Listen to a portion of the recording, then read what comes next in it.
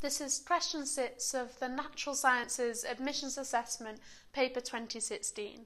Um, and this question is about bearings. So we have a point A, which is 4 kilometres due east of point B, and a point C, which is um, at a bearing 330 degrees from A and 60 degrees from B. And we want to find the distance BC.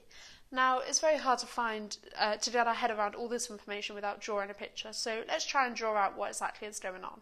So we're going to start with B. So let's just draw B on with its north arrow pointing upwards like this. Um, and A is 4 kilometres due east of B, so east is over this direction here. So A is going to look something like this, and this length is 4 kilometres. We've got our north on A as well.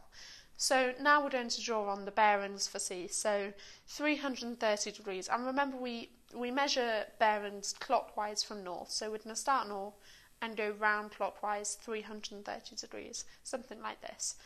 Similarly, with B, we have 60 degrees, so something like this. So you can imagine lines coming up here and up here, and C is where they join in the middle.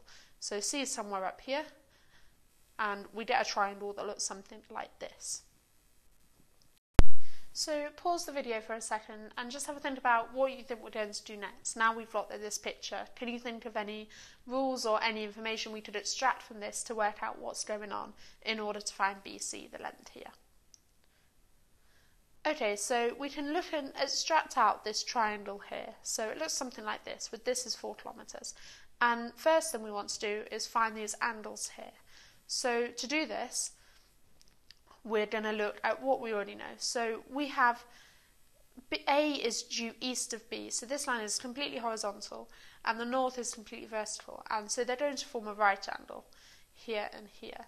And we know that this is 60 degrees, so the angle inside at B must make up the other 30 degrees so that we have 90 altogether. So this must be 30 degrees.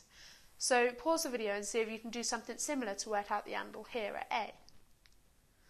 Okay, well, again, we have a 90 degree angle here, and we do 330 round here, so we know that to get to 360 degrees in the full circle, this bit up here must be 30 degrees, and so this bit at A must be 60 degrees.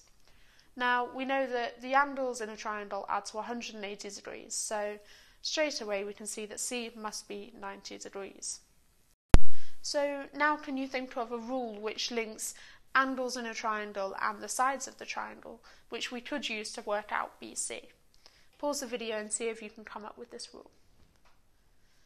Okay, so the rule you should have thought of is the sine rule. So sine A over the length of side A is equal to sine B over the length of side B. Um, and we can call A, B and C whichever ones we want. Um, we've already got labels A, B and C, but we could switch them around if that's helpful.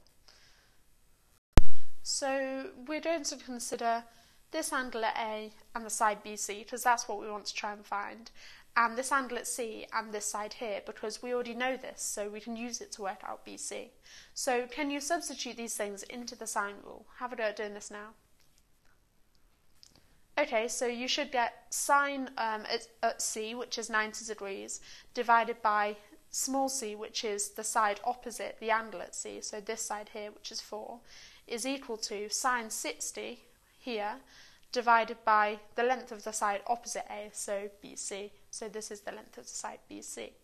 So now we need to work out what sine 90 and sine 60 are. If you can't work them out at the top of your head, you could draw out a table which looks something like this. So I have theta equals 0, 30, 45 and 60. And all I've done for sine theta is written 0, 1, 2, 3 square rooted them all, and then divided by 2. So that could be a quick way of working it out. So we substitute that in, and we get a quarter is equal to root 3 over 2 divided by the length of BC. And so BC is equal to 2 root 3, and our answer is B.